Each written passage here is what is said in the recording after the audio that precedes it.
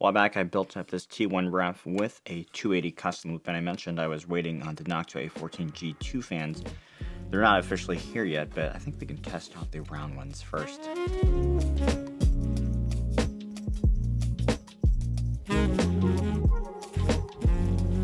Welcome to Machines More. So recently we tested out the D15G2, which absolutely solid big air cooler. One of the improvements there was the new NF a14 fans. Uh, the square version, of course, is still pending, the ones on the cooler around. But I kind of let the question slip when I spoke with Noctua at Computex, right? With these round ones work fine on a rad. If someone can't wait and they want to throw this on a rad with an adapter plate, they it, it would work the same. They could try it. Yeah. I, I would really recommend using Yeah, the square course. version. Um, You know someone's gonna do it. Yeah, it's it's quite possible. I Yeah. couldn't I couldn't promise what results you would see honestly, but Yeah. I would really suggest waiting for the square Uh, of course. But if you want to try it, I'm not going to stop you. That's someone being me, I guess.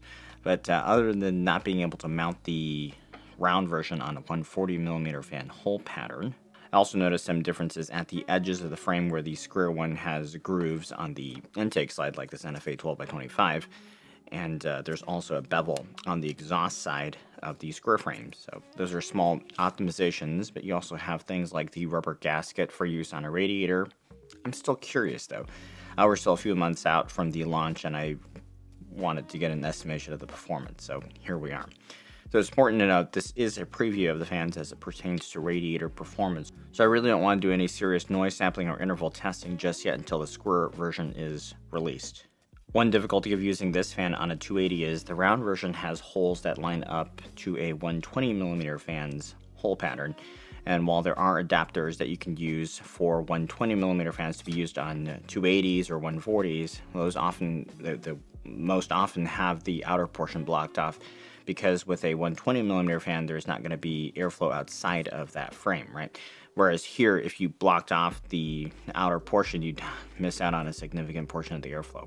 But fortunately with this build, I've got my rad mounted up in a way where I could just use those longer fan rad screws to, to hold it in place.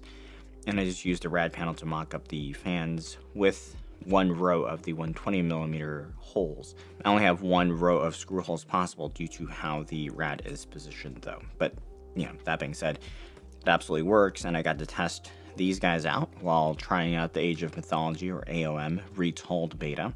Real quick on the game itself, if you're an RTS fan like I am, I think this is going to be a really enjoyable title, especially if you played the original or are an Age of Empires fan. Visuals are a little bit of a disappointment compared to AoE 4 what I've, from what I've seen so far. Not sure how much of that's still being fine-tuned, but I did find the gameplay very dynamic. The civs are very much unique, and overall there's a great balance of fun, you know, skill building, and that learning curve. So very much looking forward to the launch in about a month and a half. On this system, which sports a 7600X and 3070 FE, I'm getting about 130, 140 FPS on 1440p with every setting maxed out. So you really don't need a top-end system to enjoy this title. The system had the Be Quiet Silent Wings 4 Pros, are great fans, and for 1440p gaming in this scenario, the fans settle in at 1500 RPM and maintain a coolant temp of 44.7 degrees. Total load here is roughly 265 watts. The Corsair 280 here isn't a thick rad, it's a rebadged Hardware Labs unit that isn't overly restrictive, but we're fairly close just because of how narrow this case is. Uh, we're really close to the motherboard and the power supply with some obstruction from the 24 pin cable. Very narrow, uh, small form factor case, sub 10 liters, so things are very tight, so there's a moderate amount of restriction for the fans to overcome. With the round A14 G2s, the equivalent noise level came in at 1250 RPM. But it's worth noting that with this particular side panel setup, I noticed an increase in noise uh, from being close to the fan blades. At least on this round version, the fan blades are spaced very, very close to the outer face of the frame. So one of those differences I mentioned between this and the square version is that these don't have a transition boundary on the frame. It's more of a hard square edge uh, versus what you'll see on the square version. So when I do test the square one out, I anticipate it'll be different with regard to the noise. In other words, I think the noise equivalent RPM on the square version will be higher than the level here. Again, just a casual look at the rad capabilities with a fan that's really not meant for this purpose, so I'm just presenting them as is. They do perform quite well. The coolant temp dropped about a degree still, and testing at max on these fans, roughly 1475 RPM, I saw an even larger improvement for the temps, which is promising if the noise characteristics are better on the square version. So I do fully expect the square version to be great. These round ones aren't cheap though. Uh, expect the square ones to come in at a similar level.